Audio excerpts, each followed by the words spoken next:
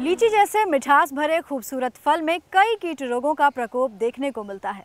लेकिन आमतौर पर हमारे क्षेत्र में रोग व्याधियों में से करीब तीन चार रोग और कीटों में भी तकरीबन तीन से चार कीटों का प्रकोप अधिक देखने को मिलता है। तो चलिए लेते हैं पूरी जानकारी कि इन रोगों और कीटों से लीचियों का बचाव कैसे करें। यूँ तो लीची की मिठास कई कीटों को आकर्षित करती है, पर आमतौर पर लीची में लगने वाले तीन कीट हैं। लीची माइट, फल एवं बीज बेधक और पत्ती काटने वाला सुंडी।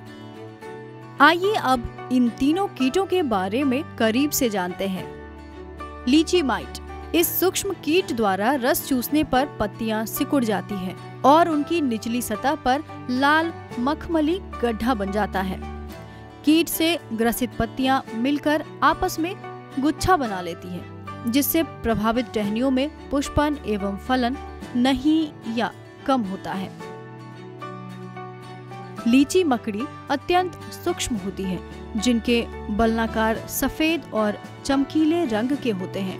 कीट के नवजात एवं वयस्क दोनों कोमल पत्तियों की निचली सतह टहनी एवं पुष्प वृंत से चिपक कर लगातार रस चूसते रहते हैं।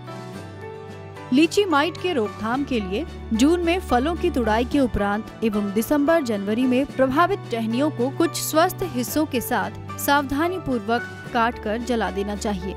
इसके अलावा डाइकोफॉल तीन मिलीलीटर प्रति लीटर पानी के घोल का पहला छिड़काव सितंबर, अक्टूबर एवं दूसरा छिड़काव फरवरी में करना चाहिए। ध्यान रहे कि फल तोड़ने के 15 दिन पहले से ही कीटनाशक का प्रयोग बंद कर देना चाहिए। लीची उत्पादकों के लिए एक प्रमुख समस्या बन गया है फल एवं बीज बेधक कीट। इसका आक्रमण अमूमन मई के अंत में शुरू हो जाता है, लेकिन बरसात होने पर यह बड़ी तेज़ी से फैल जाता है। आपने ज़रूर गौर किया होगा, एक फल में एक ही सुंडी रहती है, जो डंटल के बिल्कुल नीचे पाई जाती है। ये अपनी विष्ठा फल के अंदर जमा देते हैं। जिन फलों पर इस कीट का प्रकोप हो जाता है, उनमें डंठल के पास छीलने से गूदे के रंग के, यानी सफ़ेद कीड़े दिखाई पड़ते हैं। इसके रोकथाम के लिए टाइकोग्रामा चिलोनिस परभक्षी 50 अंडे प्रति हेक्टेयर की दर से, बौर निकलने के बाद मार्च के प्रथम सप्ताह में, एवं फेरोमेन ट्रैप 15 प्रति हेक्टेयर की दर से वृक्ष की मध्य ऊंचाई पर प्रयोग करना चाहिए। इसके अलावा, जब लीची के फल मटर के दाने के आकार के हो जाए तो पहला कीटनाशी छिड़काव कार्बारिल 50 डब्ल्यू दो ग्राम प्रति लीटर पानी में मिलाकर प्रयोग करना चाहिए।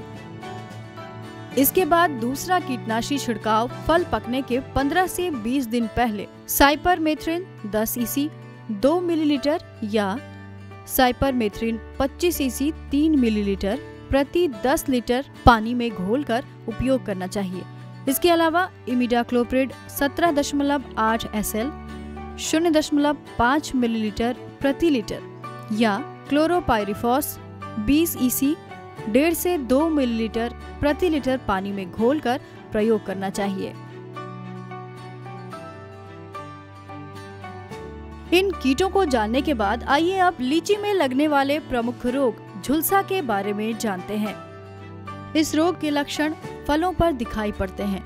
रोग के संक्रमण की शुरुआत फल पकने के लगभग 15 से 20 दिन पहले होती है, पर कभी कभी लक्षण फल तुड़ाई के बाद भी दिखाई पड़ते हैं। फलों के छिलकों पर छोटे छोटे गहरे भूरे रंग के धब्बे दिखाई पड़ते हैं, जो आगे चलकर एक दूसरे से मिलकर काले और बड़े आकार के धब्बों में बदल जाते हैं। इस रोग की तीव्रता अधिक होने पर काले धब्बों का फैलाव फल के छिलकों पर आधे हिस्से तक हो जाता है। उच्च तापक्रम एवं आर्द्रता रहने पर रोग का संक्रमण और फैलाव काफ़ी तेज़ी से होता है। यही कारण है कि इस रोग से प्रभावित फलों का बाज़ार मूल्य काफ़ी गिर जाता है। इस रोग से बचाव के लिए कॉपर ऑक्सीक्लोराइड 2 ग्राम प्रति लीटर पानी के दर से घोल बनाकर छिड़काव करना चाहिए। अगर रोग की तीव्रता ज़्यादा हो तो रोकथाम के लिए कार्बेंडाजिम 50 प्रतिशत डब्ल्यू या क्लोरोथेलोनिल 75 प्रतिशत डब्ल्यू दो ग्राम प्रति लीटर पानी के दर से घोल बनाकर छिड़काव करना चाहिए।